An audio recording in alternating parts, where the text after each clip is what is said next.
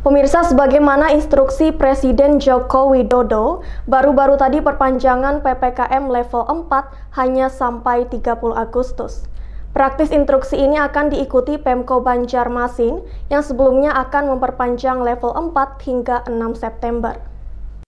Presiden Joko Widodo baru-baru tadi mengumumkan kembali perpanjangan PPKM level 4 dari tanggal 24 Agustus hingga 30 Juni mendatang. Keputusan tersebut berlaku di daerah yang menerapkan kebijakan PPKM level 4 dan level 3. Menyikapi hal itu, Wali Kota Ibnu Sina menjelaskan akan mengikuti pemerintah pusat sesuai arahan Presiden Joko Widodo. Sebagaimana diketahui berdasarkan hasil evaluasi, Kota Banjarmasin masih berada di level 4 karena salah satu dari tiga indikator tersebut masih berada di level 4, yakni kasus mingguan COVID-19. Uh, kita mengikuti arahan Pak Presiden. Uh, hari ini harusnya hari ini tadi surat edaran wali kotanya ditandatangani.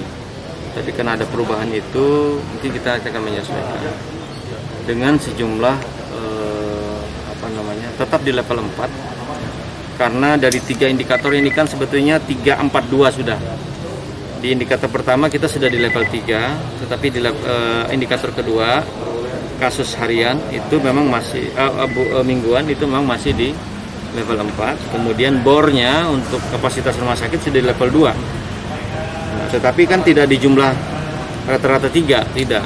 Jadi 342 ini tidak rata-rata 3 harus memang di level 3 semua baru kemudian bisa diturunkan ke level 3 lebih jauh, Ibnu Sina mengatakan dengan adanya indikator yang masih berada di level 4 tersebut, akan terus bekerja keras dalam satu pekan ini untuk itu dukungan masyarakat sangat diperlukan.